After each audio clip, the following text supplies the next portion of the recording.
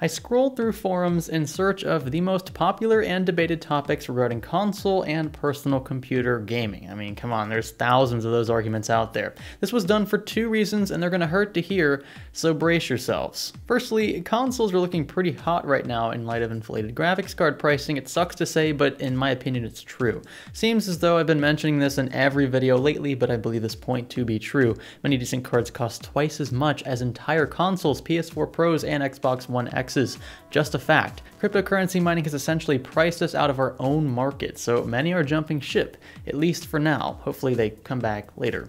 Second, it's no secret that console exclusives and even ports are generally better optimized than their PC counterparts. This is due to several factors, which we'll discuss shortly, but I've found that this argument in particular is a weapon of choice for many console uh, fanboys. So what exactly is the reason for this? We'll discuss various examples and reasons for this in today's Minute Science episode.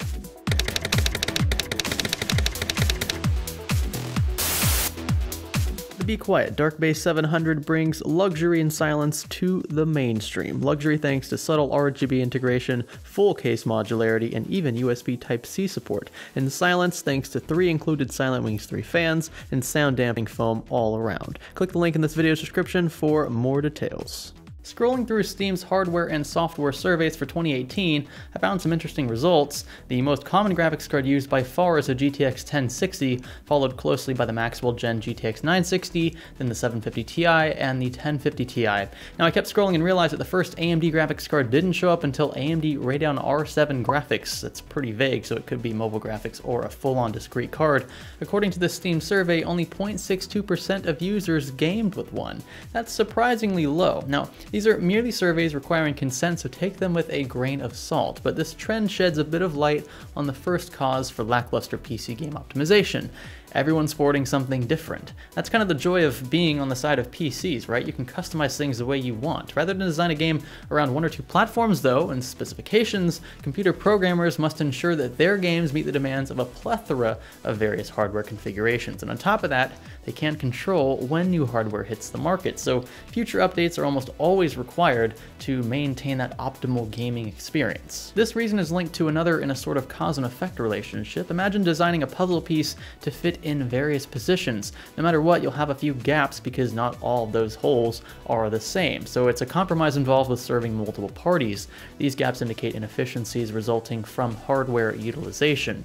In my video, How to Identify a CPU or GPU Bottleneck, which you can check out right here by the way, I discuss how various hardware usages can impact frame rates. For example, Cities Skylines failed to utilize my second graphics card, which indicated that this game lacked SLI optimization. It still does, by the way.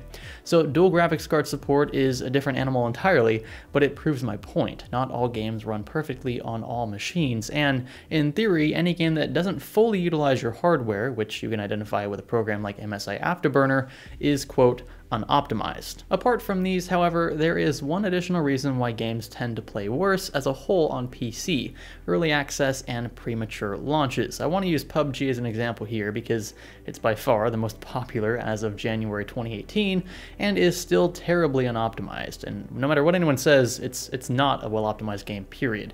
Peak player usage does spike though around 2.5 million players, which is an impressive feat for any game, let alone one that consistently crashes. Don't get me wrong, love this game, I play it all the time. It's very addicting and fun to play with friends especially, but it needs serious work, which is why it's constantly down for maintenance. But ignoring the game's stability, PUBG also faces many hardware utilization issues, especially on AMD's side.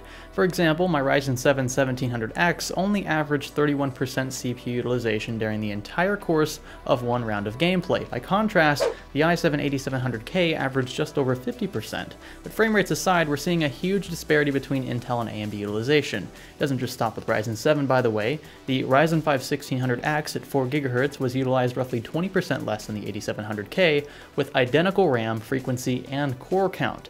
The red team is vastly underutilized here, and that's a big sign of not only game bias, but game optimization issues. Now this may have turned into an apparent PUBG bash fest at the end of this video, but I bring up these points to prove another point. PC gaming will always incur a higher performance variance. Pre-releases, multi-platform support, and hardware utilization play substantial roles here. We simply can't expect them all to work perfectly on every platform at all times, and that is why optimization will always be the Achilles heel of the PC gamer. If you have a comment or suggestion for a future topic in the Minute Science playlist or elsewhere, be sure to let me know by leaving a comment down below. I check them out especially when the first hour or so of the video is publishing, but I'll come back later and see what was very popular in the comment section and address those topics more than likely in future videos. If you like this video in particular, let me know by giving this one a thumbs up. I appreciate that. Thumbs down for the opposite, click subscribe, and if you haven't already, and stay tuned for more content like this. This is Science Studio. Thanks for learning with us.